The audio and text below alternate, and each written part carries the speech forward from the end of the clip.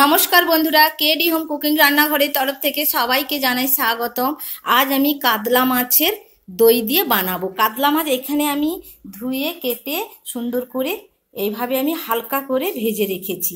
আর এখানে নিয়েছি আমি হলুদ গুঁড়ো নিয়েছি এক চামচ, লঙ্কার গুঁড়ো নিয়েছি হাফ চামচ, পাঁচটা কাঁচা লঙ্কা নিয়েছি। এখানে আমি বেটে নিয়েছি একটা, পেস্ট করে নিয়েছি ইয়ে মগজদানা নিয়েছি পঁচিশ গ্রাম মতো, পোস্ত নিয়েছি পঁচিশ গ্রাম মতো, দুটো পেঁয়াজ, দুটো কাঁচা লঙ্কা, আর নিয়েছি তিন কোয়া মতো আদা। এখানে আমি নিয়েছি এক বাটি দই, এখানে আমি নিয়েছি একটা টমেটো। এভাবে আমি কীভাবে কাতলা মাছ দই বানাতে হয় সেগুলো আমি বানিয়ে দেখাচ্ছি। কড়াইটা গরম হয়ে গেছে, কড়ার মধ্যে আমি দিয়ে দিচ্ছি সরষার তেল। আমি সর্ষার তেলে রান্না করছি, আপনারা রিফাইন তেলেও রান্না করলে রান্না করতে পারেন। তেলটা গরম হয়ে গেছে, তেলের মধ্যে দিয়ে দিচ্ছি আমি এক চিমটে চিনি।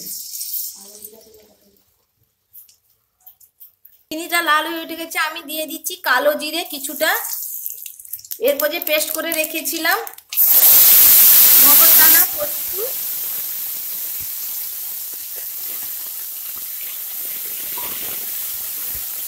এখানে আমি লঙ্কা, হলুদটা জল করে দিচ্ছি।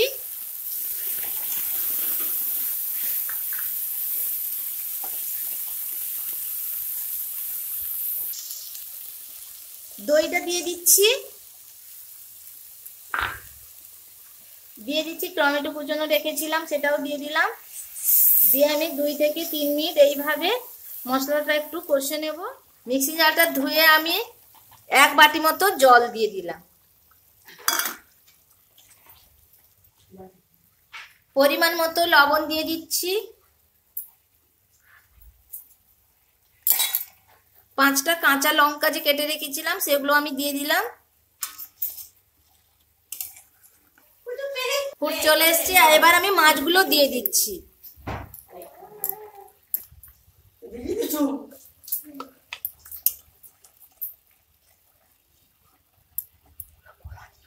এইভাবে আমি মাছগুলো দিয়ে দিলাম, দিয়ে পাঁচ মিনিট মতো আমি মাছগুলো একটু ভালোভাবে রান্না করে নেব, তারপরে আমি দেখাচ্ছি।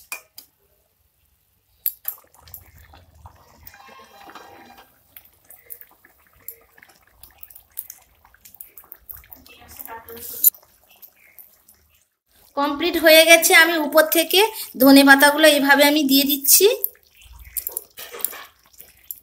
দিয়ে এক মিনিট মতো আমি রেখে গ্যাসটা অফ করে দিচ্ছি। এই রকম দই কাতলা বানাবেন, বানিয়ে খাবেন, খেয়ে যদি ভালো লেগে থাকে তাহলে একটা কমেন্ট করে জানাবেন। এখনও পর্যন্ত যারা আমার চ্যানেলটি সাবস্ক্রাইব করেননি, তারা সাবস্ক্রাইব করবেন এবং সবাইকে শেয়ার করবেন।